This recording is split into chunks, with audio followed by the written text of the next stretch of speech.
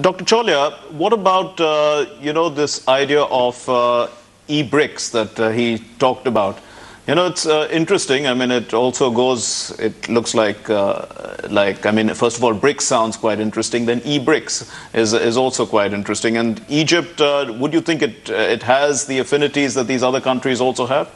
I think it's a bit of a stretch right now uh, because Egypt is in um, economic muddle. Um, I think they barely have 15, 20 billion dollars to cover their uh, next month's imports and so on right now, and they're heavily aid dependent on the West. But I think eventually, yeah, I mean, Egypt has the potential, the territorial size as well as the population uh, to be able to grow. Uh, it was growing under Mubarak, although it was a lopsided growth.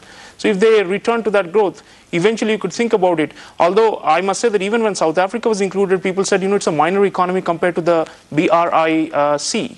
Right. So S itself was a bit of a uh, you know a gamble, but it was good for geographical representation. But now that we already have one uh, from Africa, it might be you know sometime before e-BRICS uh, is realized. But I think in principle, uh, there's no objection to the idea that Egypt is a potential emerging economy and a potential major economy that can contribute to this uh, multipolarity. In fact, uh, one of the other political dimensions related to this e-BRICS phenomenon is President Morsi's desire not to place all the eggs in the American basket. Remember, his first state visit was to China Okay. after taking power, and now he's coming to India, and his He's advisors have.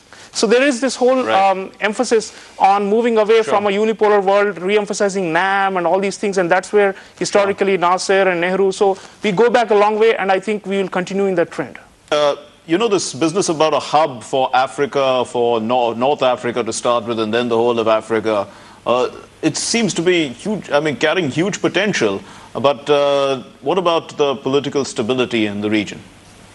Well, you know, Sudan is also stabilizing gradually. So I think uh, that region, the, the Maghreb, uh, as you know, of course, has been going through some tumult.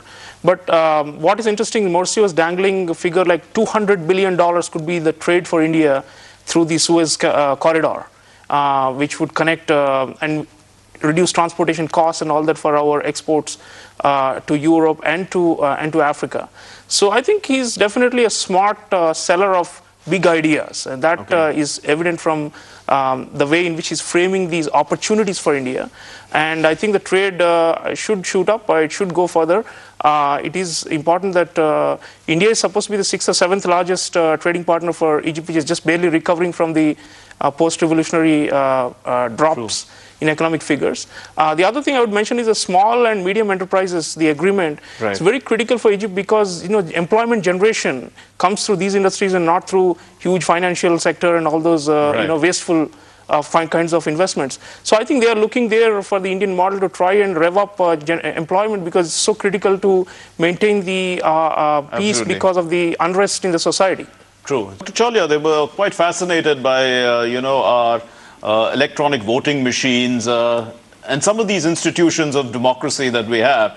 Uh, also, of course, I mean, the very fact that uh, democracy is so vibrant in our country. Uh, how important is this, you know, in terms of uh, building institutions or sharing best practices that can help build uh, Egypt's democratic institutions? Yeah, as, Essam Haddad was just mentioning, uh, there's so much India can give, and the Prime Minister has also offered um, to share. Uh, you know, democracy itself is the you know bedrock for nation building in these kind of societies.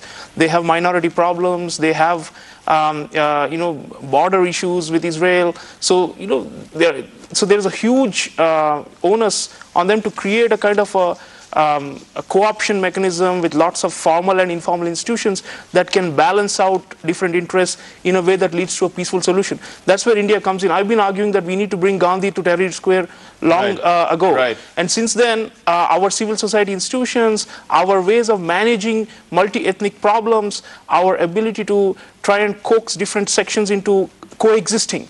This is where India can really, and I'm glad that Navdeep Suri is the current ambassador. He was working public diplomacy earlier uh, here in the Ministry Right. of External Affairs, and he has the kind of um, Sure. enterprise to Right. push for these additional measures because India traditionally Sure. does not do these things. We are only focused on trade and investment, but it's good to move into the political institution building that will stabilize Egypt in the long run. Right, and uh, I think we've run short of time. We'll have to leave it there. Thank you very much, gentlemen, for being with us here on Late Edition.